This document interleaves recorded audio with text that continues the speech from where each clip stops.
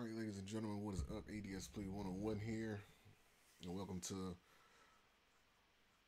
quite a few videos I'm going to be doing reactions to, all involving Tekken 8.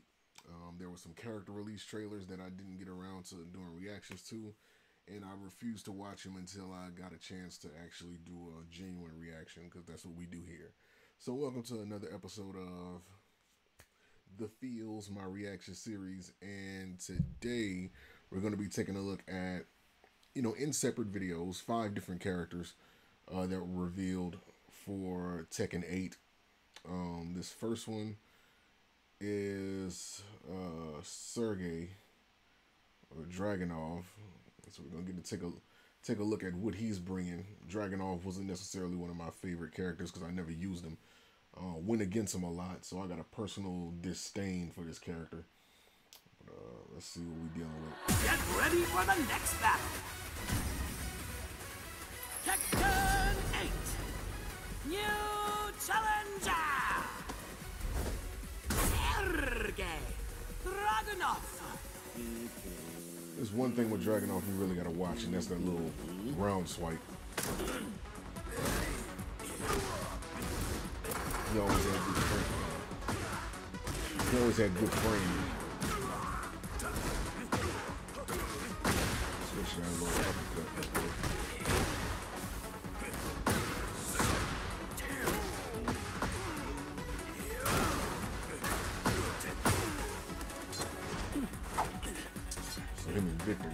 Cela faisait longtemps. Ange blanc de la mort.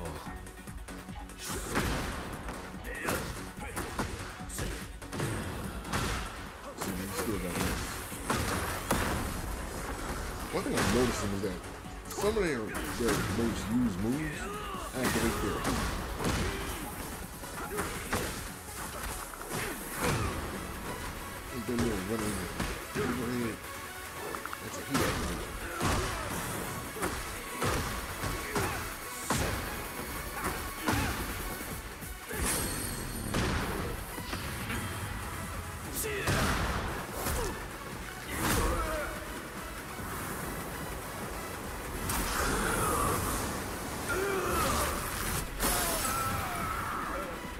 Did they really give him like a charge overhead power up? I'm just double Lexing it. And that belt is sick though.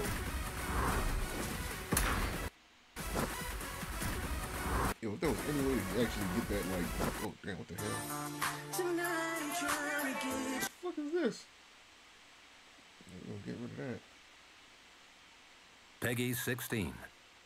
People putting their cousin mixtapes on the damn Anyway, going back to this belt.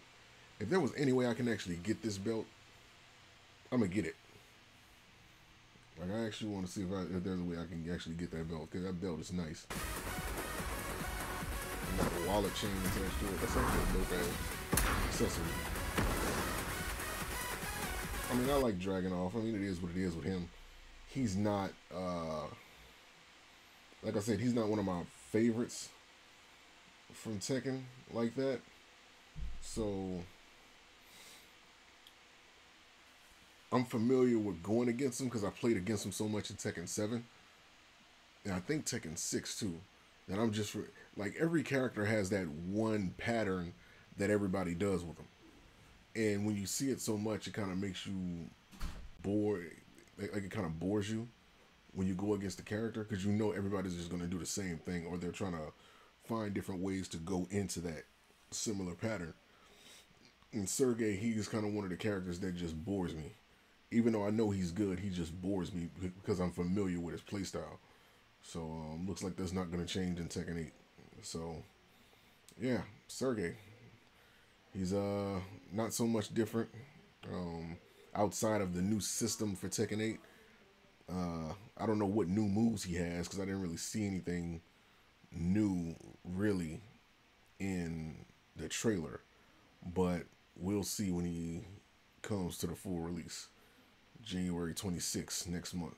So yeah so that was my reaction to sergey dragunov uh hopefully we see something with him in his own character story or something that like coincides with victor knowing about him And um, yeah, I'll see you guys for the next one. Until next time, peace.